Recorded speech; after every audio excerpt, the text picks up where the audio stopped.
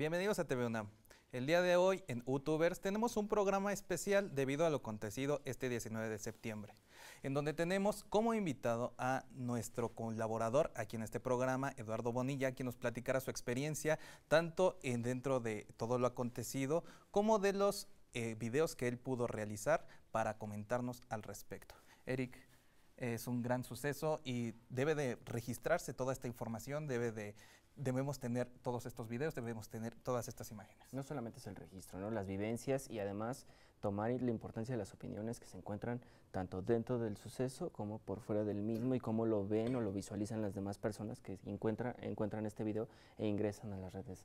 Una de las particularidades importantes no solamente es el hecho de haber estado ahí, dentro del mismo eh, problema, sino también cómo lo publicamos hacia las demás personas y cómo la demás gente, hasta el extranjero, ve este tipo de cosas. Qué gusto estar contigo, Omar. Gracias por estar con nosotros. Gracias por estar. Y bueno, Eduardo, gracias también por estar con nosotros directamente en este programa. Y bueno, qué gusto tenerte ahora desde el otro lado. Pues a mí también me da gusto estar otra vez aquí con ustedes, de este lado, para cambiar la perspectiva del estudio, para ver otros ángulos. Realmente sí, sí me gusta estar aquí con ustedes y la verdad, pues muchísimas también por entrevistarme sobre este suceso que realmente es, es muy dramático y que definitivamente va a dejar una huella muy profunda en, el, en, el, en todos los mexicanos, en toda nuestra sociedad. ¿Qué te parece gracias. Si, muchas gracias y bueno, ¿qué te parece si en este caso vamos a ver un poco del trabajo que realizaste y que sigues realizando a la fecha todavía en apoyo a la comunidad por el temblor que sucedió el 19 de septiembre. ¿Qué te claro parece? que sí. Gracias. Vamos a ver un poco de la información que capturó Eduardo Bonilla.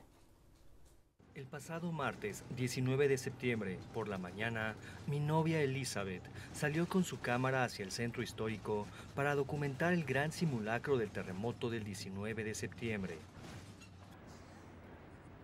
Curiosamente, en esta zona de la ciudad, las alarmas nunca se escucharon.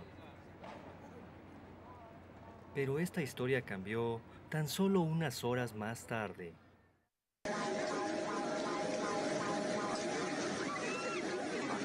El sismo sorprendió a mi novia dentro de una tienda departamental y de inmediato tomó su cámara para documentar la tragedia.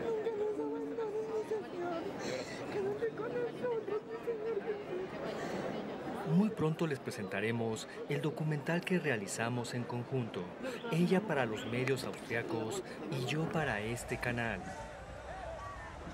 Grabaciones exclusivas realizadas desde los primeros segundos del sismo y por los puntos más importantes de la Ciudad de México. Una mirada independiente y honesta Grabamos desde el epicentro emocional de México, el Colegio Repsamen, con una narración que va más allá del discurso oficial que busca a la inexistente Frida Sofía.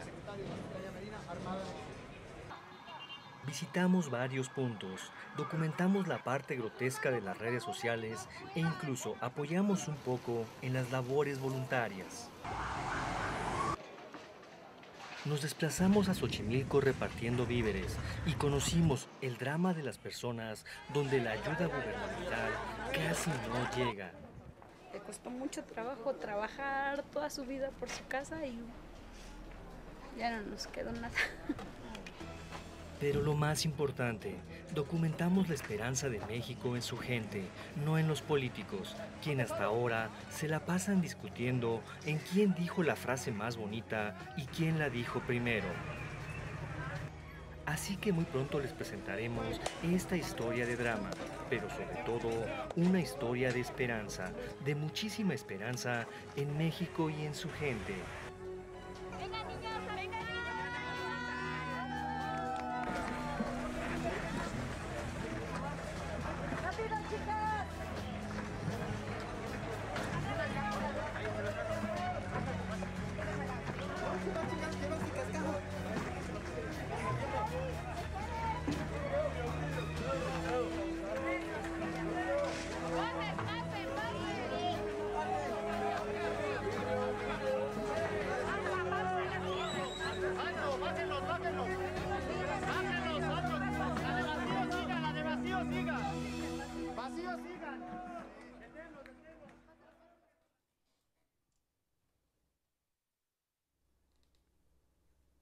Bueno, después de haber visto todo esto suceso, un poco de la parte de los videos de Eduardo, eh, principalmente Eduardo, eh, cuéntanos exactamente o así es cierto, ¿cómo fue tu experiencia después de haber vivido este gran impacto o catástrofe para la ciudad?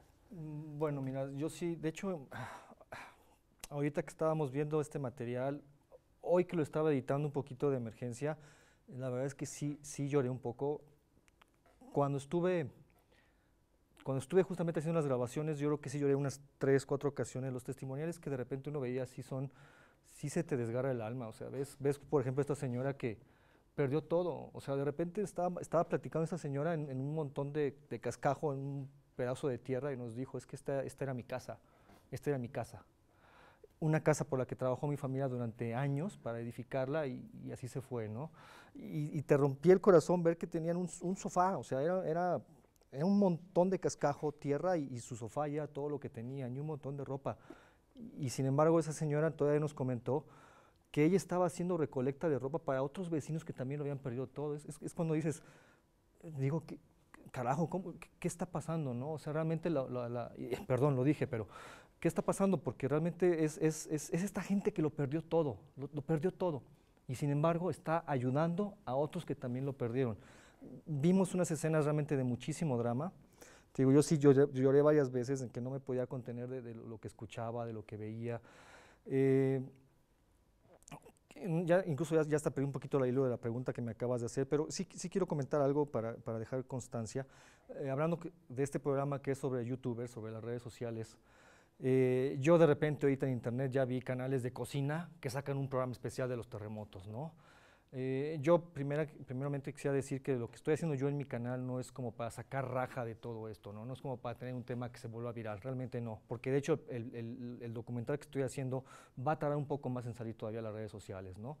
Este, sin embargo, ¿por qué lo hice? Bueno, fueron una serie de circunstancias este, que me llevaron a hacerlo, que tienen que ver, eh, por ejemplo, en San Gregorio de Tlapulco. San Gregorio de Tlapulco es un tema que yo ya traté en uno de mis documentales. Mi canal, como ustedes lo saben, trata básicamente sobre arqueología, exploración, tradiciones de México. Y yo estuve en San Gregorio de Tlapulco hace como seis meses. He ido muchas veces a ese pueblo eh, y, justamente hice un documental de unas piezas arqueológicas que están todavía ahí en, campo, en medio de la nada, en las orillas del pueblo, en un cerro. Eh, estaba justamente preparando otro documental sobre, sobre este pueblo en particular, sobre San Gregorio de Tlapulco, conocí a un señor que es un señor que se llama Jaime, que tiene su casa y su casa la convirtió en museo. Y llevaba toda la vida, es profesor, lleva toda la vida recolectando fotografías antiguas, datos de su comunidad, incluso algunas piezas arqueológicas. Lo vi hace dos meses al señor, yo lo vi, entré a su casa, me mostró todas sus piezas, él tiene un montón de dibujos que realiza. Y cuando me enteré de que el terremoto había pegado muy fuerte en San Gregorio, en cuanto pude, no fue de inmediato, pero en cuanto pude, y en cuanto pude llegar, porque fue muy difícil acercarse los primeros días, pregunté por la casa del señor Jaime y de verdad sentí bien feo cuando me dijeron, no, se cayó su casa. Su casa se cayó y se cayó el museo y todo lo que él tenía. Digo, afortunadamente lo, segundo que pregunté fue, oigan, ¿y él está bien? Me dicen, sí, él, él, se salvó, ¿no? Está un poco malo, pero digo, el punto es que yo hice este documental no para sacar rajas, sino porque justamente es gente que yo conozco y es un proyecto en el que yo estaba ya en desarrollo y un proyecto involucrado. Por otra parte, ya para, para cerrar este, este, este detalle, eh, mi novia, este, ella también, ella le sorprendió el terremoto de la medianoche del 7, me parece que fue el 7 de septiembre, y eh, muchos medios austriacos, ella es de Austria, la contactaron para que hiciera un reportaje de ese sismo, de ese primer sismo, el de la noche lo hizo y efectivamente tuvo mucha, mucha, mm, bueno, eh, mucha gente lo, empezó a seguir, mucha gente le empezó a contactar y entonces le pidieron que hiciera un reportaje sobre la alerta sísmica y es justamente lo que narro en el video. Ella fue este día al centro histórico y curiosamente el día del terremoto del 19 de septiembre una fecha súper simbólica, en el centro de la Ciudad de México no hubo ningún tipo de alerta sísmica, no, hubo nada. Quizá por cuestiones turísticas, ¿no? Quizá, la verdad es que no, no sé por qué, pero al par de horas después, pum, ¿no? Nos llega toda la tragedia y ella, pues también, igual que yo, que es una persona que le gusta eh, recolectar imágenes, pues sacó su cámara y a documentar, documentar, documentar. Eduardo, precisamente al respecto, han sido días difíciles para todos, pero hay gente que agarra la cámara y empieza a grabar ¿Cuál es, eh, existe un tipo de responsabilidad a, ti que tienes un canal, a ti que este, te dedicas a, hacer este tipo de mostrar mostrar el país, mostrar este momento, ¿tienes una responsabilidad al respecto? Claro que sí, es una responsabilidad, es una responsabilidad muy fuerte, porque estás hablando ya aquí de escenas crudas para algunas personas y dices, bueno, lo transmito esto, no lo transmito. Sí tienes que sentarte a pensar, esto es bueno que lo pase, esto puede causar daño para las personas, eh, sí tienes que ir sopesando esto, ¿no? Sin embargo, al momento de estar ahí es pues, grabar todo lo que se pueda, grabar, grabar, grabar, grabar, tener la imagen y ya posteriormente, ya aplicando un poco de ética, de responsabilidad, de criterio personal que para algunas personas eh, puede ser positivo y negativo, acabo de subir, por ejemplo, el, promo hace, hace poco y, ya tiene muchos comentarios negativos, ¿no? Cuando generalmente tengo siempre comentarios positivos. Es decir, si hay una cuestión aquí de responsabilidad de saber qué poder transmitir y qué no. Exactamente respecto. La pregunta sería el cómo todos estos youtubers pueden ayudar, o sea, para que, ¿cuál es la intención de mostrar todo esto? No solamente sería la, la, intención también, sino que además de haber recibido los comentarios negativos, negativos en qué aspecto? O sea, te decían... Dislikes. Dislikes, nada Básicamente dislikes. Pero no... Que por lo general no recibo. No, no, recibes como comentarios de, oye, eso está mal, oye, estuvo... No. o sea, no hubo un comentario que tú dijeras. Hasta hace rato que, que revisé, no. Había, de hecho, los comentarios escritos eran todos positivos, había muchos likes, pero sí me sorprendió que en cuestión de unas tres horas ya tenía tres o cuatro dislikes. que, no es como dices, o sea, mucha gente sí se subió al barco de vamos a, mostrarlo simplemente para tener visitas, simplemente para... pero, perdón por interrumpir, no solamente las, las, visitas, también... Estamos en confianza. sí, no te preocupes. Gracias. No solamente lo importante de subir este tipo de videos, sino también había no todos están para informar, ¿no? No todos están para subir videos, pero hay otros que nada más lo hacen como sí, para poner likes. En, un aspecto, ya nos queda más o menos un minuto de tiempo para irnos al corte, pero rápidamente, ¿tú crees que esta motivación... no te preocupes. Eh, el punto de esto sobre la motivación es informar a la gente. La tirada de esto es informar. Claro, ¿Ese es del disparo que tenías o había nada más la búsqueda de saber? La búsqueda de imagen, el ver, el, ver a la gente que yo conocía, por supuesto, pero sí el informar. ¿no? He presentado otra óptica que, que me di cuenta que las televisoras estaban más mostrando imágenes, quizá parciales, bueno, no parciales, pero no todas las realidades que estaban aconteciendo. Bueno, ya nos queda 30 segundos. ¿Qué te parece? Vamos a un corte y seguimos platicando contigo. Claro que sí. Bueno, claro que sí.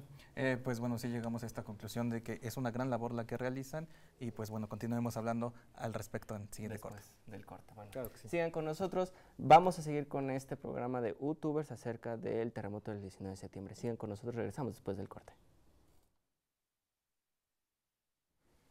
Muchas gracias. Estamos de regreso aquí en este YouTubers especial sobre el sismo del 19 de septiembre. Eric, ya estábamos comentando con Eduardo aquí presente al respecto de cuál es esta utilidad que le encontramos a encontrar eh, gente que graba, que tiene estos videos de YouTube, que los sube para informar. No solamente seguía la información, también teníamos a las otras personas que nada más están ahí para tomarse la selfie de que estoy donando, de que me encuentro haciendo esto, de que me apunto el nombre en el brazo y no vinculan como la idea de decir, ok, sí, tómate la foto, está bien la selfie, no hay ningún problema, tú una selfie donando, pero eso no te va a generar nada, o sea, lo que, necesitamos es que estés ahí haciendo una fila, como todos recogiendo escombros, estando en la copia, apoyando en estos lugares donde la gente se está quedando y al mismo tiempo no solamente es la cámara, significa la acción que necesitamos. Ese se supone que era el apoyo de México. Puedo repetirlo, en 1985 teníamos este, este mismo problema, 19 igual, y era peor, tantas cosas que sucedían ahí y sucede esto, no solamente es para la selfie, significa un aspecto importante de grabar. Y es una de las preguntas que me gustaría hacerle a Eduardo. ¿Cuándo grabas y qué sería bueno grabar o cuándo, cómo le haces para seleccionar eso de que vas a grabar y decir, esto tiene que aparecer en el video? O sea, ¿por qué? Hasta cierto punto me gustaría interpretar eso de que por qué no hasta ti te pudiste haber grabado llorando. Ah, bueno, este, de, hecho, básicamente yo estaba documentando la labor que estaba haciendo, estaba haciendo mi novia, con la idea de que ella, justamente para, el medio que va a sacar el trabajo, que es, es, en Europa, en Austria, ya tenía que salir a cuadro, ¿no? Las personas que me siguen se han dado cuenta que yo siempre que hago alguna grabación de lo de mi canal, de arqueología, etcétera, sí acostumbro a tomarme la selfie, ¿no? Siempre, siempre. En esta ocasión, no, no, no tuve corazón para sacar la cámara y tomarme una foto con, los, restos. No, no, definitivamente no. En algunas ocasiones sí me tomé algunas fotos, pero son personales de, de, de, mi novia y yo, después de una jornada intensa, comiendo allí en un camellón, en fin. Pero definitivamente selfies no me tomé ninguna, no subí ninguna. De hecho, subí muy poco material porque andaba, en primera porque ustedes saben que fallaron muy grueso las comunicaciones ese día, hubo un, cierto descontrol, este, pero no, no hice nada de eso. Y un poquito tu pregunta, Eh, no sé, en el momento fue de documentar todo lo, mayor, todo lo, posible. Este, tengo como tres horas y media de material que hay que condensar, por supuesto, hay que empezar posteriormente a descartar, pero es así, recopilar, recopilar, recopilar toda la información, eh, el drama, el drama humano, por supuesto, las, las, construcciones. Este, yo siempre hago tomas grandes como para ubicación, pequeños encuadres y de repente hasta el detalle, ¿no? Me, llamó mucho la atención encontrar, bueno, de hecho no lo encontré yo, fue mi novia la que, la que me hizo, hizo la, señalización de que había una, una imagen muy dramática. Estaba un, Cristo que estuvo en la casa de alguien, un Cristo ya roto de cerámica, estaba ahí entre un montón de cascajo. Y curiosamente este Cristo estaba justamente entre un montón de rocas y, parecía una persona aplastada. ¿no? Entonces sí, sí es así una imagen muy poderosa. Este, que bueno, ella fue la que me hizo notarla y, son imágenes que por supuesto sí voy a usar, pero es, es después hasta ver el material y empezar a darle una, una cierta lógica a la narración, ¿no? Porque todo fue así de Eduardo, creo que para todos nosotros que vemos y seguimos tu canal, eres un documentalista que simplemente tienes la plataforma de YouTube. Pero este, básicamente... Y te y te Entonces, ¿cuál es esta experiencia que tú tienes que te sirve para estos momentos? Para saber cómo seleccionar información, cómo seleccionar qué grabar, cómo seleccionar qué es lo que se puede ver y qué es lo que se puede mostrar. Eh, básicamente la experiencia, un tanto en cuestiones de la grabación, más o menos lo comenté, realmente grabé a lo loco. De repente sí, tenía, sí, sí, sí cuidaba algunos encuadres, generalmente yo siempre empiezo a cuidar, eh, procuro cuidar mis encuadres, ya sabes, regla de tercio, ciertas cuestiones estéticas. Aquí fue, fue más fluido, más orgánico, más como te lo ibas encontrando, ¿no? De repente íbamos en una camioneta en cuestiones de, de, repartir acopios y también de transporte y en, en unos, lugares por Xochimilco la gente se, se, se, dejaba venir sobre la camioneta, ¿no? Y, y, curiosamente pedían despensas, despensas, despensas, despensas, despensas. Pues en ese momento sacas la cámara y la camioneta no se detuvo por, por, por mí, ni, ni, por ella, ni por mi novia, ¿no? Íbamos con un rumbo y fue a sacar la cámara y grabar como puedas, como puedas a esa, a esa multitud y continuar. No se podían cuidar los encuadres, pero bueno, algo, algo tiene que salir posteriormente. Y un poquito también por lo que tú mencionabas de, la experiencia, pues fue justamente el, que ya me sé desenvolver en ciertas, en ciertas comunidades y la gente de San Gregorio ya me conocía. Entonces había como una experiencia previa. Y hablando de esta experiencia, nos gustaría, ah, ¿tuviste algún riesgo? ¿Sufriste algún percance? ¿Viste algo que de verdad, además del llanto generado por todo esto, eh, te marcó algo diferente que nos puedas eh, contar de esto que viviste del, 19 de septiembre? Son cosas que nunca... Es más, a, nadie se nos va a olvidar. A nadie se nos va a olvidar. A los millennials de este, ahora no se les va a olvidar. Algo que a lo mejor, mm, quizá no es muy políticamente correcto que lo diga, pero sí lo voy a mencionar, es que sí vi un eh, una cantidad impresionante, impresionante de recursos en el colegio Repsamen. De una manera muy casual, que ya no da tiempo de platicar esa, anécdota, de una manera muy casual pudimos llegar hasta el primer círculo. Estábamos a unos cuantos metros del edificio colapsado. Pero en general era un despliegue increíble de recursos, de gente del gobierno, gente con gafetes, por supuesto, de la Marina, muchísimo, muchísimo recurso. Eh, pero en, en otras comunidades era no digo que inexistente, pero era muy, muy poco, mucho, muy, muy poco. Sí, sí, el colegio se volvió como un estandarte de la tragedia. Yo lo llamo el, epicentro emocional de México. Sí, y es este, precisamente otra de las preguntas que queríamos hacerte. En los medios eh, tradicionales, este, comerciales, vemos todo este tipo de imágenes, vemos todo este tipo de, de, que, de lo que muestran. Muestran cosas muy específicas, muestran cosas que igual y no tienen tanto valor informativo. ¿Cuál es la diferencia entre eso a lo que nosotros podríamos esperar de alguien que hace documentales como tú. En YouTube. Bueno, justamente es que estamos en una televisora, las televisoras consumen contenido y de repente hay que decirlo, muchas televisoras, no es el caso de TV muchas televisoras comerciales hicieron su agosto con las imágenes, ¿no? Era transmitir, transmitir, transmitir, transmitir, transmitir, transmitir, viralizar algunos contenidos, algunas cuestiones que la verdad pues son un tanto pues pues no sé, intrascendentes, pero las elevaban a un margen que realmente no, no valía, no, no, tenía caso hacerlo, mientras que por otra parte sí había necesidad de contar otras historias. En, tu pregunta, definitivamente lo que yo hice fue contar las otras historias, no es una cuestión comercial, no fue así de hay que sacarlo rápido para poder tener rating, hay que documentarlo para que quede el testimonio. Es parte importante de los testimonios y los testigos. No solamente en algún momento vamos a tratar de invocar hasta cierto punto que los nuevos medios traten de informar. Sí informan. Hay un parte de aguas de información. Pero para otros solamente buscan la farándula. Escuchamos el caso de, la tal Frida, que nunca existió, y, ese es uno de los procesos por los cuales está eh, mal y, está este punto. YouTube entra como un medio de importante en este momento para fomentar la información, entonces. Creo que, eh, bueno, al respecto, creo que al final eh, todos los medios cuentan historias. Todos. Y todas estas historias. Y tienen un estilo. Exactamente. A veces, a veces se expanden, a veces se escuchan historias que tal vez no serían tan útiles, tan informativas y creo que la facilidad que, tienen todos los youtubers es que cuentan su historia, la historia que este, ustedes están viviendo y cómo la están viviendo. No, hay ninguna línea de manipulación, ahí puedes distorsionar. Claro, también puede que lo que contemos nosotros los youtubers puede que no sea una buena historia, realmente pues, eh, también. es muy común que suceda eso, pero sí tenemos la libertad de seguir nuestras propias líneas, ¿no? no tenemos una dirección que nos diga no toques este tema, no habla de aquello, mejor síguete por acá, grabamos lo que nosotros queremos. Yo en lo particular, cuestión ética, espero hacerlo bien, espero transmitir un buen mensaje, este, pero finalmente será la, audiencia que me sigue la que dirá si lo hice bien o no, porque es, algo que no acostumbro a hacer. Otra de las cosas importantes, la audiencia y aquellos que te siguen siempre van a ser los mejores seguidores. ¿Por qué? Porque ahí tienes respuesta directa, lo que a veces la televisión no tiene y busca hacer por medio de contactos informativos. Más o menos, en ciertos aspectos me gustaría preguntarte más un poco sobre esto del funcionamiento. ¿Cómo estuviste dentro de eh, eh, este, esta catástrofe? ¿Estuviste como brigadista, apoyo, acopio o cómo fue tu, tu acción directa dentro de este eh, punto? Básicamente lo que fuimos fue ir a documentar.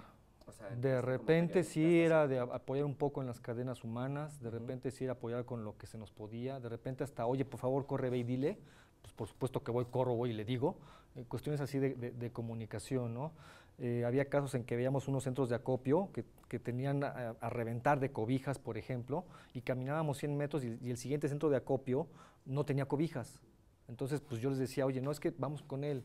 Fue una cuestión más que nada de comunicación. Un poquito, mi novia sí participó en algunas cadenas, e incluso quiso hacer algunos donativos, en fin, pero este, básicamente estuvimos ahí eh, eh, recolectando imágenes, recopilando imágenes. Y, es que creo que al final cada quien tiene una labor y la labor de recopilar imágenes, de documentar, de mostrar lo que está pasando, es una labor muy importante. Sí. Y se tiene que buscar quién realice esta Hubo momentos en que nos quedábamos pasmados ella y yo, ¿eh? en San Gregorio, un momento en que comimos, yo creo que a mí se me fue el avión como una hora, ¿eh? no me pude concentrar, no me pude concentrar, comí y andaba como zombie, iba, iba a la casa del señor que se cayó, hablaba con él, me regresaba, hasta que ya me cayó el 20 y dije, no, a ver, a ver, vengo con ella, ella está haciendo una cosa, también yo y, adelante, ¿no? Yo creo que es el traumatismo de catástrofe que en algún momento tiene que suceder. Entonces, en este punto, el sentimiento que tienes de que estás en, o sea, de que México se cayó, de que hay un proceso como de unión en el que ves a la gente, eso es muy complicado. En algún momento estas imágenes se pueden transmitir, puede haber un proceso de transmisión hacia las redes sociales, hacia YouTube, más o menos. Yo creo que es imposible que lo que yo grabe eh, tenga el mismo efecto de estar ahí en vivo. Yo creo que es definitivamente imposible. Una experiencia así vivencial, por más que yo quisiera transmitirlo, yo creo que, hay que estar ahí para que realmente... O sea, no creo que alguien llore cuando vea mi video y, sin embargo, digo, yo sí, yo sí lloré cuando, cuando estaba haciendo las, las, las, tomas. ¿no? pero claro que es tu punto de vista, eh, nos vas a mostrar en este video que, que, realices el punto de vista de Eduardo en lo que en lo acontecido el 19 de septiembre y todo lo demás. No solamente son los que eh, golpean a, la gente, ¿no? También hay videos en Facebook que duran menos de un minuto con la gente cantando el himno nacional. Y yo creo que hay personas que de verdad sienten ese impacto, ¿no? Pero yo creo, y sí lo digo, no podemos decir que no, no podemos generalizar. A lo mejor sí podemos totalizar en ciertos aspectos, pero podemos decir que sí. Si envías una imagen, esa imagen puede generarle a alguien un impacto sentimental. Y eso es lo que podrías tú intentar. ¿Crees que más o menos ya vamos a terminar la entrevista? Se nos acaba de terminar el tiempo otra vez, un minuto.